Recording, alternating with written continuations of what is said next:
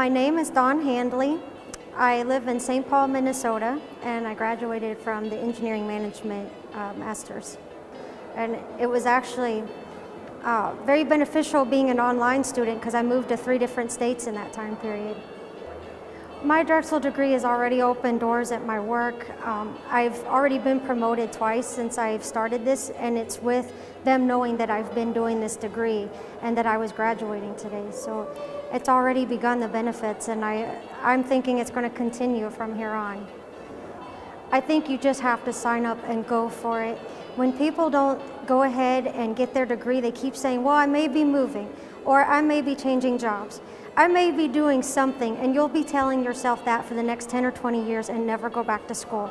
You've got to make yourself sign up, go back to school, and get that degree. And next thing you know, you're graduating, and you're done.